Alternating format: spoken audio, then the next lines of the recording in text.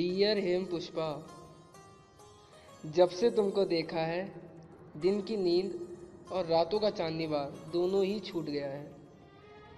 Bro और क्या लिखूं यार? अरे वाह ये बच्चा पढ़ाई कर रहा है। क्या पढ़ रहे हो बेटा? कुछ नहीं कुछ नहीं अरे दिखाओ। अरे अरे हम तुम्हारे शिक्षक हैं। हम शिक्षक हैं तुम्हारे। डियर हेम पुष्पा प्रेम पत्र लिख रहे हो क्या? क्या? सॉरी अब तो हम भी व्हाट्सएप यूज़ करते हैं। क्या प्रेम पत्र लिख रहे हो? पत्र में जज्बात होते हैं अरे चुप रहो जज्बात रखो इसको अंदर। पढ़ाई करो चलो। वैसे बच्चे क्यों नहीं आए अभी तक? आ रहे होंगे सर। वैसे भी आपकी क्लास में आता कौन है? सर मैं कभी? लो सर। आ गए बच्चे। वो भी दो के बराबर। शांतनु लेट कैसे हो गए?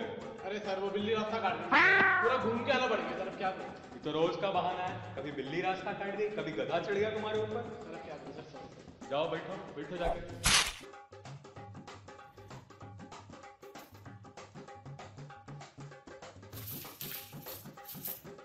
पुष्पा कौन है ये?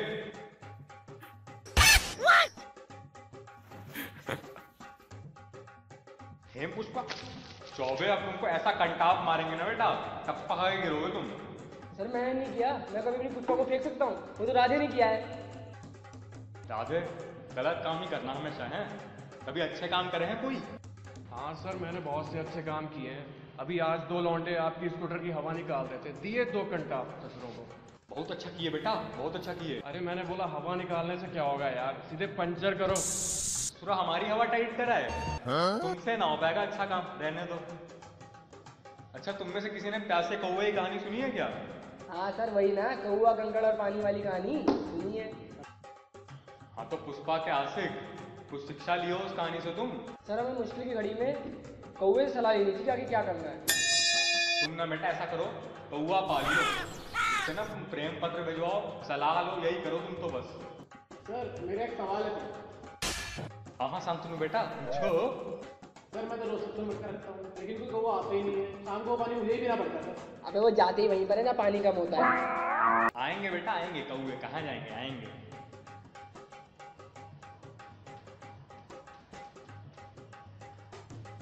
अच्छा हेल्प से याद आया शांतनु बेटा। तुमको अगर बगल वाले रोड पे पाँच सौ रुपये मिल जाए तो क्या करोगे? पाँच सौ रुपये है अबे कहाँ जा रहे हैं? सच में मान लिया क्या? छुट्टी हो गई।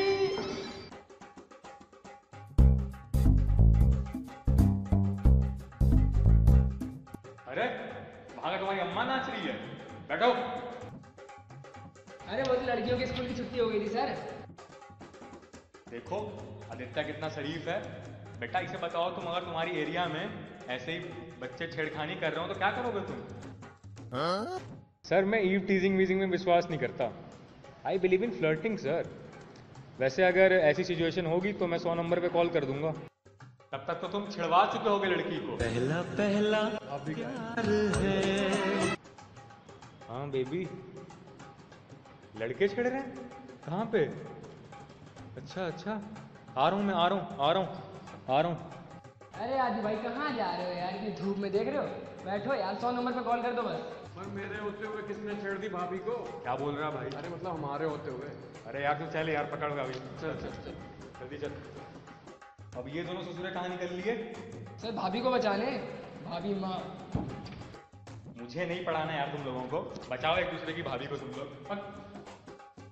अबे ये शॉन्टी कहाँ रह गया यार? अबे कहीं वो सच में तो नहीं?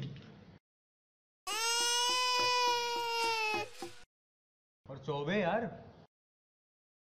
हाँ तो हम कहा थे? तेरे please like share and subscribe for more videos visit our channel Fifo entertainment